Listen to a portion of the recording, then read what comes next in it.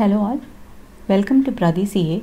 Today we are going to discuss about the latest announcement made by ICAI regarding the practical training assessment test. It is a home-based online assessment test conducted for students who are undergoing their first or second year articleship training. The eligibility criteria are the students who have completed their first year of articleship training between April and September 2019 or students have completed their second year of articleship training between April and September 2020. Application starts on 16th December and ends on 24th December. Students can visit the website www.pttest.icai.org, the link which is given below in the description, log in and verify their details and get their passport size picture captured through the webcam.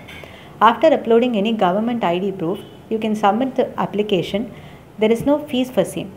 Hall ticket will be issued by 5th of January 2021. This is a MCQ based test. For first year students, the test comprises of 75 questions of 1 mark each. Out of the 75 marks, 50 marks is compulsory, which consists of accounting, auditing, and corporate law subjects, and other 25 marks is optional, in which the student may select any one from the following DT, IDT, or internal audit. For second year students, the test comprises of 60 questions of 1 mark each and 20 questions of 2 mark each. Out of the 100 marks, 50 mark is compulsory in which accounting, audit and corporate law will be tested and the other 50 marks is at the option of the students to select either DT, IDT or internal audit as per their choice. The ICAI has hosted few sample papers in the given website which the students may utilize and practice to be well equipped for the test. The upcoming exam dates are 9th, 10th, 16th and 17th of January 2021. Test will be conducted in every quarter for the benefit of students. Students can appear in any of the quarter for the test. Maximum of 3 tests can be taken by a student in each year.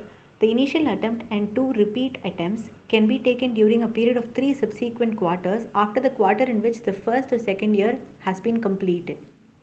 For students who have completed the second year during such period, this shall be the last attempt. Similarly, for students who have completed the first year during such period, this is the last attempt to give their first year test. They can continue writing second year test from the day they become eligible. Results will be announced within 15 to 20 days. The results are based on grade A to D, A being the highest and D being the least. The average of both the levels will be calculated for inclusion in the mark sheet if the student is eligible for both the levels, else only second level grade will be taken. The registered students who have missed out to take the test or who wish to improve their grades can do the same by paying a fee of rupees 200. Even though the tests are not mandatory, it is advisable to take the test as the same will be mentioned in the last mark sheet. If the tests are not taken, did not appear in practical training assessment will be displayed as a footnote in your last mark sheet issued by ICAI. Thank you for watching this video. Please do like, share and subscribe to our channel for more updates.